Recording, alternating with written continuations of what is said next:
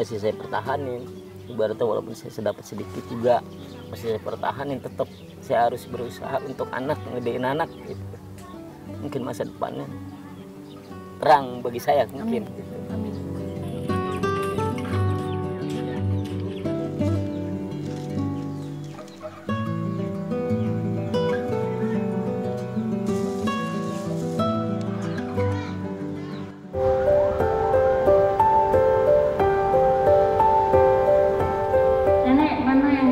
Nenek rasakan sakit nih?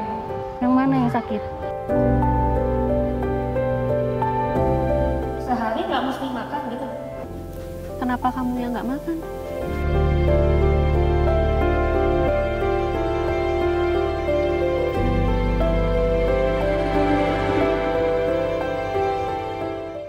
Rezeki itu bisa datang kapan saja dan di mana saja. Dan rezeki itu tidak dilihat dari seberapa besarnya, tapi dari seberapa berkahnya. Seperti pada kisah yang berikut ini adalah tentang seorang laki-laki yang bernama Pak Sidup yang tinggal di Kabupaten Bekasi. Di tengah keterbatasan ekonomi, ia sehari-hari mencari rupiah dengan mencari barang-barang bekas di antara tumpukan sampah. Nasib Pilu juga masih terus menggerogotinya karena ia memiliki penyakit kusta sejak beberapa tahun belakangan.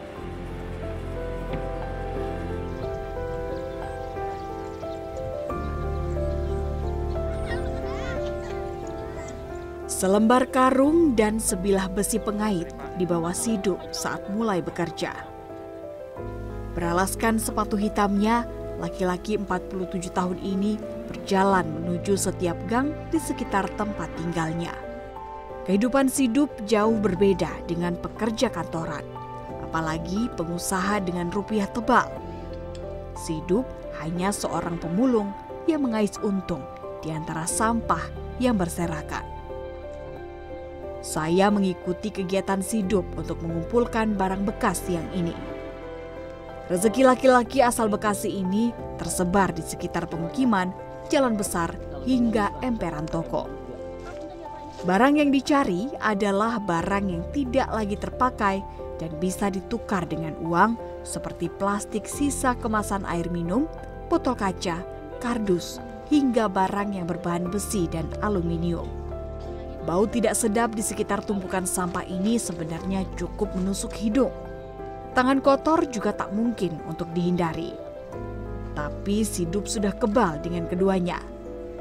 Bagi Sidup, benda-benda yang bisa didaur ulang ini adalah rupiah untuk menyambung nafasnya. Berbeda dengan musim kemarau saat barang bekas lebih mudah dikumpulkan, Sidup mengaku saat hujan ia harus bekerja ekstra hati-hati. Selain sampahnya basah, lebih berbau dan kotor, resiko kesehatan seperti masalah kulit hingga tertusuk beling yang mengundang infeksi juga diakuinya lebih besar. Namun apa pun kondisinya, hidup berdampingan dengan sampah diakui Sidup lebih mulia dibandingkan dengan meminta-minta. Menjadi pemulung Sidup lakukan karena ia tak punya pilihan lain. Hidupnya juga tidak seberuntung orang-orang dengan keahlian khusus, lantaran ia tidak memiliki latar pendidikan dan keahlian yang mumpuni. Pekerjaan yang kerap dipandang kumuh oleh orang lain ini ia jalani agar keluarganya bisa makan, setidaknya untuk hari ini saja. Berarti apa pun, bagaimanapun kondisi bapak gitu ya, pas hidup tuh masih tinggi rasa tanggung jawabnya buat keluarga ya pak Amin. ya, berapapun rezekinya ya pak. Amin. Kenapa pak? masih saya pertahanin ibaratnya walaupun saya sedapat sedikit juga masih saya pertahanin tetap saya harus berusaha untuk anak ngedein anak gitu mungkin masa depannya terang bagi saya mungkin Amin. gitu Amin. Bapak juga kerja sawah, katanya juga sempat jualan ya Pak ya? Itu gimana ceritanya Pak? saya Mm-mm. kalau jualan saya pernah bu Ya. saya nyoba tiga hari nggak ada kelakuan Jualan apa? cuma minjem doang tetangga duit tuh dikasih sama saudara 300 ribu apa sekarang belum kebayar Jualan apaan waktu itu Pak? mainan karena saya kondisi begini kalau untuk lingkungan saya segini mau bu sudah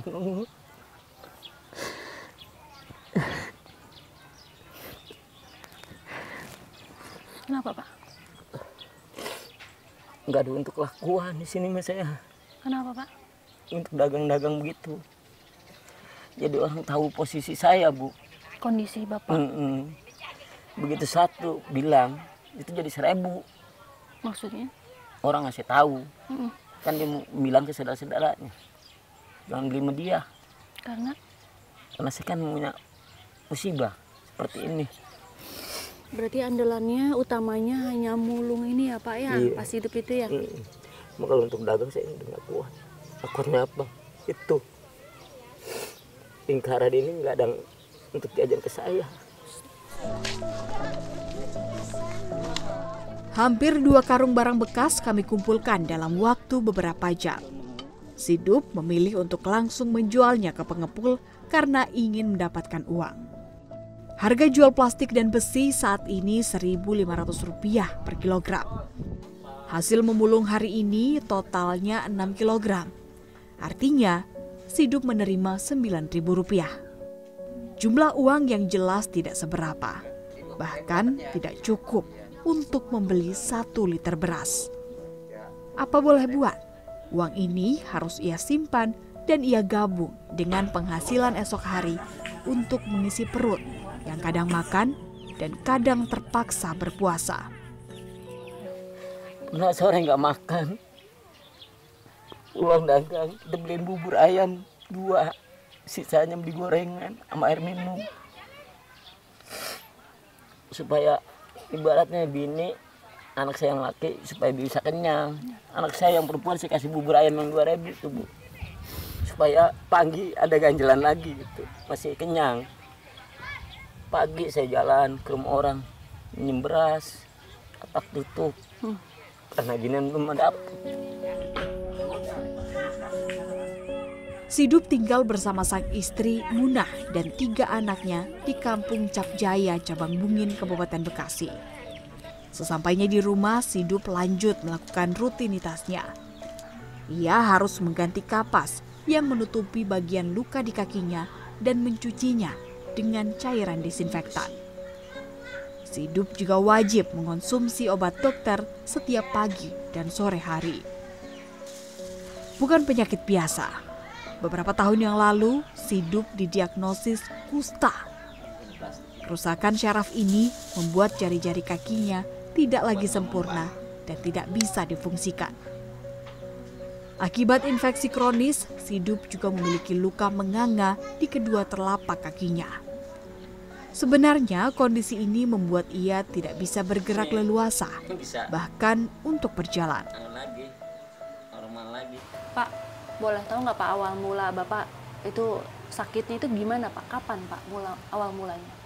waktu diinduk luka kena duri saya tusuk warnanya udah nggak lama saya balik paginya dapat udah kawin tuh ya waras ini yang saya nggak sangka waras ya mungkin nanwanku yang kuasa kali ya saya sempet tuh narik beca Oke. pas saya balik dari usaha beca ya saya anu lagi pecah Lukanya Hmm. Ini anu apa namanya? Kayaknya ngerembet-ngerembet gitu. terus kata dokter apa saat itu bilang? Kata bidan. Lalu kata bidan infeksi. Jadi jarinya ini udah nggak ada uratnya bu. Posisi jari udah nggak ada urat. Jadi kita membeli sendal kadang kepake. Nggak bisa jepit. Kan pulang nyari. Ya. Ya begini rasanya bengkak. Ntar ada obatnya. Tuh. Kalau nggak pakai alat seperti itu saya nggak kuat. Sendal, ngandelin sendal saya bisa jatuh. Kalau dimasuk kerikil kecil ya, masuk kemari udah saya jatuh. Bisa tengkurap di tempat. Itu.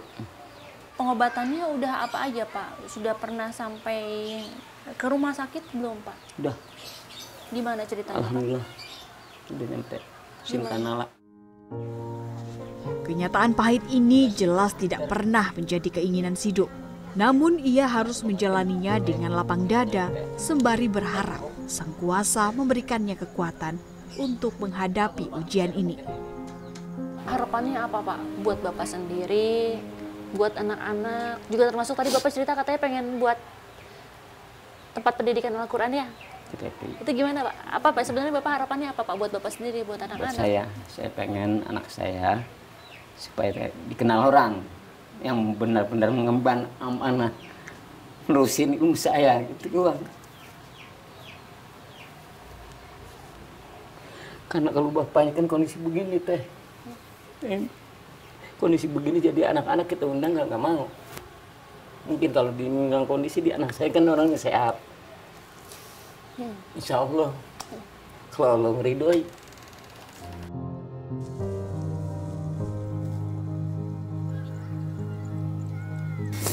kadang kalau bapaknya tidur teh kadang saya suka nangis. Habis gimana ya penyakitnya bukan setahun dua tahun. Penyakitnya udah belasan tahun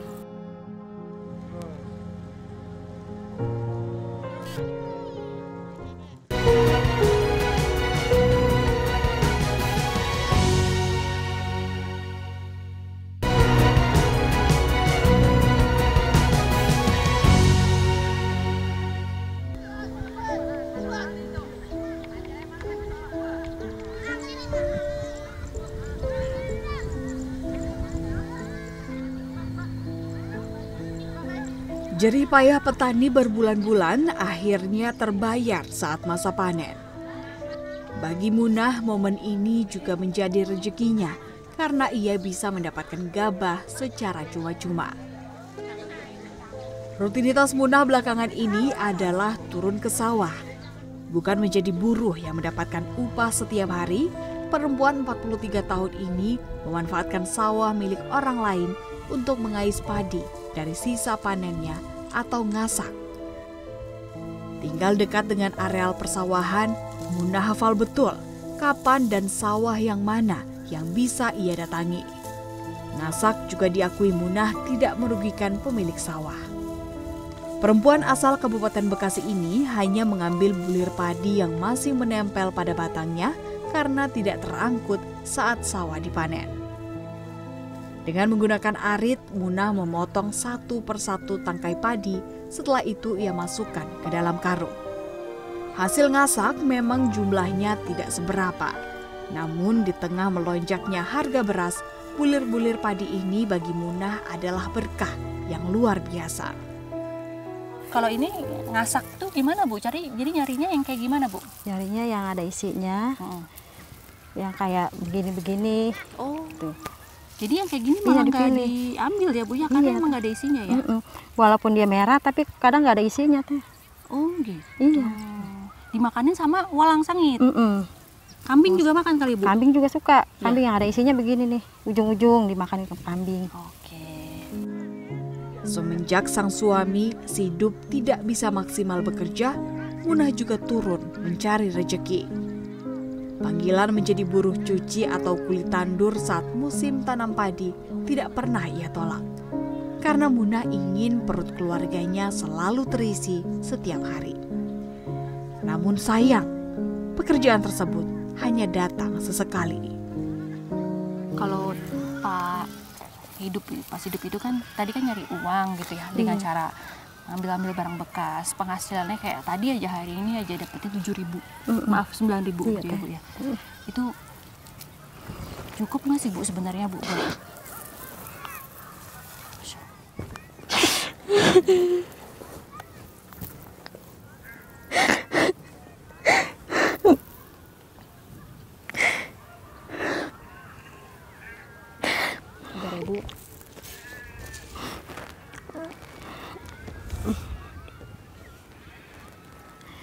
kalau menurut itu nggak nggak cukup teh penghasilan segini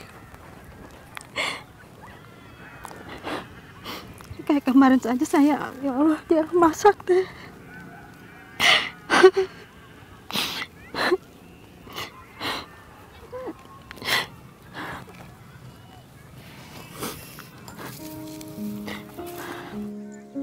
Dua puluh tahun menjalin rumah tangga dengan Sidup, Munah setia mendampingi sang suami. Munah menyebut kebahagiaannya bukan berada di antara gelimang harta, namun keikhlasan hati dan mendapatkan rezeki berkah untuk kehidupan keluarga. kalau ibu masih terus nyemangatin bapak ya bu ya? Memotivasi bapak supaya supaya walaupun sekarang kondisi kakinya lagi sakit seperti itu ya bu ya? Iya. Ibu gimana ngeliatnya bu? Bapak tuh masih semangat gitu bu? Kadang kalau bapaknya tidur teh kadang saya suka nangis.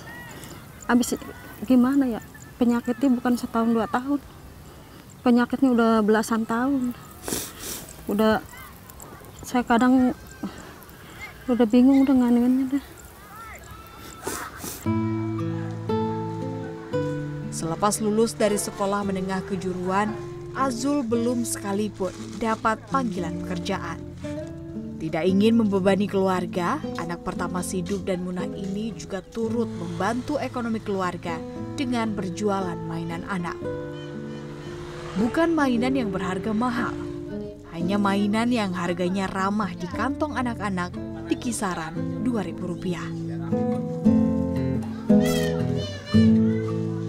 Tenaga Azul masih kuat untuk mengayuh sepeda. Laki-laki 19 tahun ini juga masih bersemangat berkeliling untuk menjajakan barang dagangannya. Beruntung belakangan Azul tidak merasakan sepi pembeli. Karena sudah ada langganan yang langsung mendatanginya saat dia datang.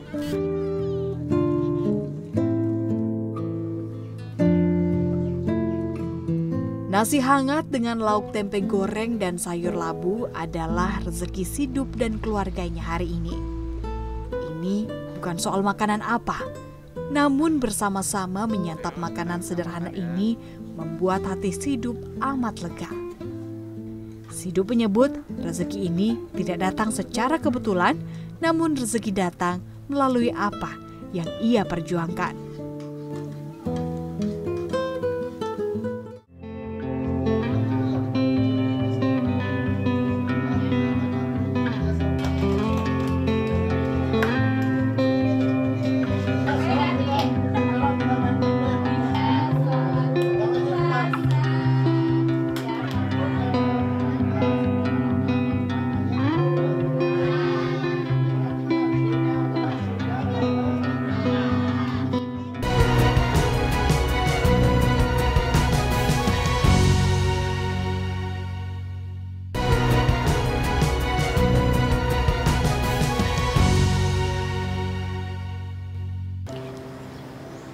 Adalah guru yang paling berharga dalam kehidupan. Dan dari pengalaman dapat membuat kita menjadi lebih berkembang dan juga bisa untuk bekal untuk menebar kebaikan kepada sesama. Seperti pada kisah yang berikut ini adalah tentang kisah seorang laki-laki yang bernama Abdul Rohim, warga Jakarta Timur. Bangkit dari keterpurukannya, ia kini tengah membangun kehidupan yang lebih baik bagi anak-anak pemulung dengan membuat rumah belajar.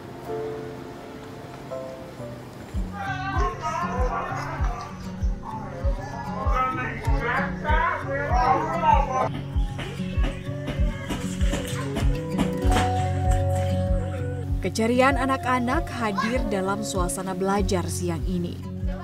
Bukan dengan buku atau alat peraga layaknya di sekolah, mereka mengikuti permainan atraktif sederhana untuk melatih konsentrasi. Suasana belajar sengaja dibuat semenarik mungkin agar mereka bisa memahami isi materi. Siang ini ada sekitar 30 anak-anak yang mengikuti pelajaran di rumah belajar Yayasan RB di Kampung Pemulung Pondok Kelapa. Ruangan semi terbuka berukuran tidak lebih dari 24 meter persegi ini dimanfaatkan sebagai tempat belajar. Lokasinya bersebelahan dengan TPU Pondok Kelapa. Mereka yang semangat mengikuti kelas belajar adalah anak-anak yang kurang beruntung, seperti anak jalanan dan pemulung yang tinggal di sekitaran Jakarta Timur. Abdul Rohim merintis Yayasan RB karena pengalaman masa kecilnya yang kelam karena ia pernah menjadi anak jalanan. Kepedulian laki-laki 39 tahun ini terhadap anak yang terpinggirkan ini juga karena mereka kerap dicap negatif sebagai orang yang tidak berpendidikan. Saat ini tercatat ada sekitar 370 PPKS atau pemerlu pelayanan kesejahteraan sosial dibina Yayasan RB. Pak, apa sih Pak yang melatar belakangi Bapak akhirnya membuka yayasan RB, juga kelompok belajar buat anak-anak pemulung? Jadi saya dari tahun 2005 itu tidak pertama kali mengawali sebuah kegiatan tuh berangkat dari rasa keterpanggilan ya. Jadi saya juga punya punya pengalaman punya peng- pengalaman pribadi gitu ya. Eh, karena saya juga pernah di jalanan seperti mereka pernah di posisi yang memang sulit gitu ya. Akhirnya saya merasa ketika melihat lingkungan apalagi usia-usia anak-anak itu mereka sudah di apa sudah dieksploitasi di usia yang tidak sewajarnya. Lalu apa yang bisa saya lakukan? Karena saya mikir tidak ketika melihat sesuatu seperti itu saya harus berbuat gitu ya. Aksi-aksi harus bisa berbuat. Namun saya waktu itu memang masih berpikir apa sih yang bisa saya lakukan ya yang bisa saya lakukan akhirnya aksi kecil gitu aksi-aksi baik aksi-aksi kecil ta- tapi eh, insya Allah itu bermanfaat concern kami fokusnya adalah mencerdaskan anak-anak anak-anak yang kurang beruntung ataupun anak-anak jalanan saat itu ya supaya mereka punya waktu Oke, bisa mengakses pendidikan oke. Di rumah belajar ini semangat Roji tidak kalah dengan teman-temannya. Meski tidak seberuntung anak-anak lainnya, di sini ia bisa mendapat ilmu sambil bermain. Kamu sekolah nggak? Enggak sekolah. Nggak sekolah. Terakhir sekolah kelas berapa? Kelas 2. 2 SD. Sekarang kamu umurnya berapa? 10 tahun. 10 tahun. Boleh tahu nggak kenapa sih kamu sekarang nggak sekolah?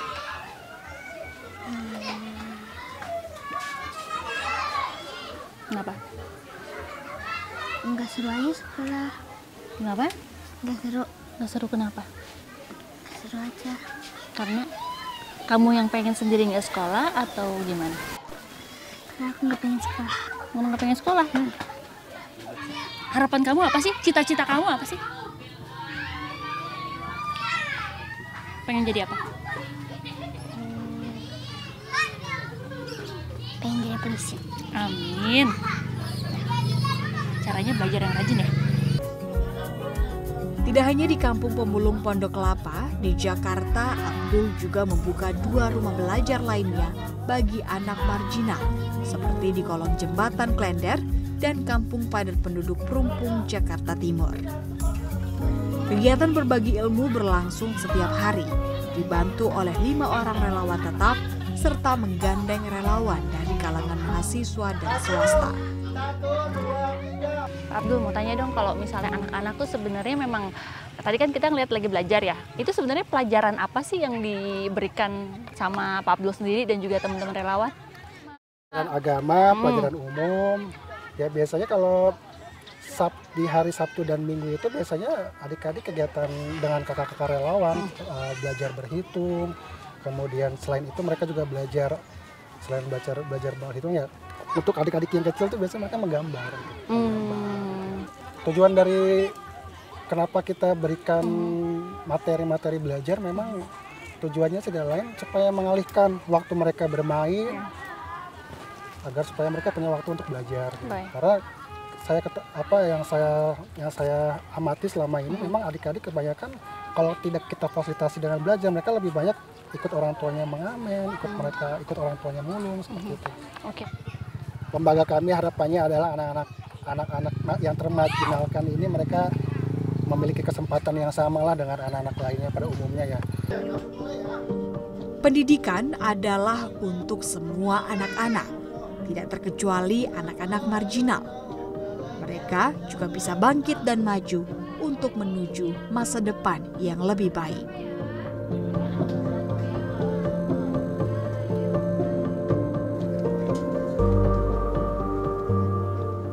Rangkaian cerita ini menjadi satu lagi pengingat bagi kita akan pentingnya berbagi kepada sesama. Tidak harus mahal, berbagi bisa dimulai dari sesuatu hal yang kecil, bahkan dari barang yang sudah tidak terpakai. Hal ini bisa memberikan kesempatan dan kebahagiaan bagi mereka yang sangat membutuhkan.